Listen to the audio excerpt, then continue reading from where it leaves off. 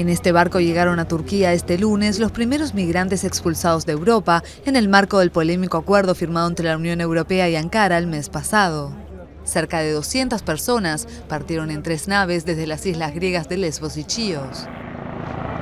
Los migrantes llegaron al puerto en autobuses desde un campo de retención a unos 10 kilómetros y subieron con tranquilidad a los barcos. En el camino, varios activistas y simpatizantes fueron a mostrar su apoyo a grito de libertad. El acuerdo firmado entre la Unión Europea y Turquía prevé que por cada sirio devuelto, otro sea admitido en territorio comunitario con un tope de 72.000 personas.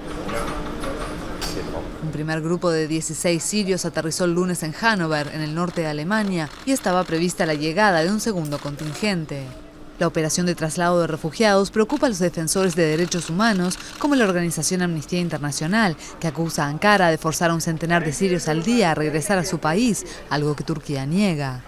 El acuerdo tampoco resuelve el problema de los 50.000 refugiados llegados a Grecia antes del acuerdo y que permanecen bloqueados en la frontera desde el cierre de la ruta de los Balcanes.